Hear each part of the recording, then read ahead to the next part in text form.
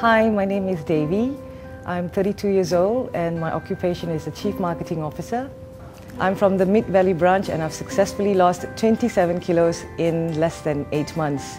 And I feel fantastic and great at the moment. Hi, I'm Michelle Law. I'm 35 years old and working as preschool teacher.